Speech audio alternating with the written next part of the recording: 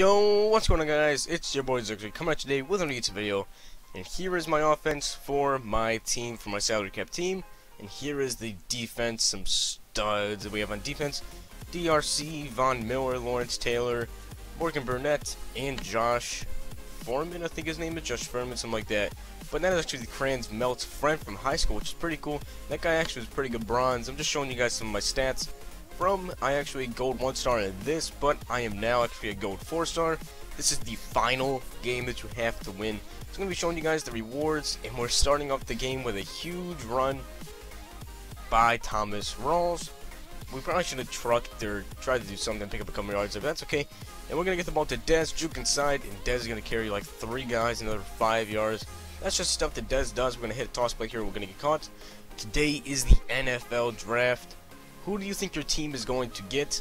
I am extremely scared for this NFL draft because I'm a Cowboys fan, as you guys know. We have the number 4 pick, and I heard rumors that we may be trading with the Browns to get the number 8 pick as well.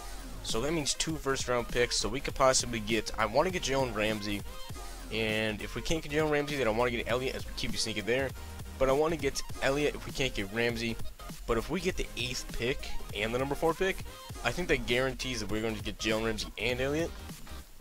Unless the Chargers absolutely bone us.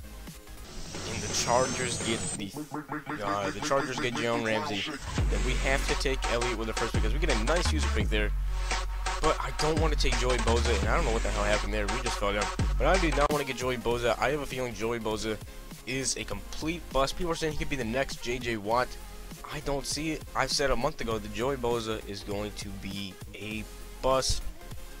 I just can see it in him. I don't think he's going to be the next J.J. Watt at all. Something about him, he's just too cocky. But Ezekiel is probably the best player coming out of this draft.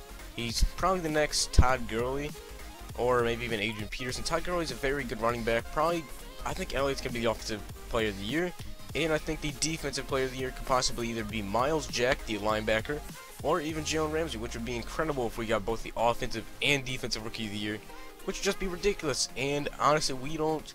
If we're gonna get a second round pick, then we're gonna have to trade them our second round, which is the 34th pick, and also our third pick, which I think is like the 70th pick. So it's actually pretty good picks. like the 80 or something. I don't know. We have pretty good picks for second and third round, so they definitely can make a trade. As we're just sacking this guy nonstop, hoping to just get the W really quickly. As you guys see, it's kind of a shorter video, so you guys know what that means. But he's going to check it up here in double coverage and come down with it. What is this?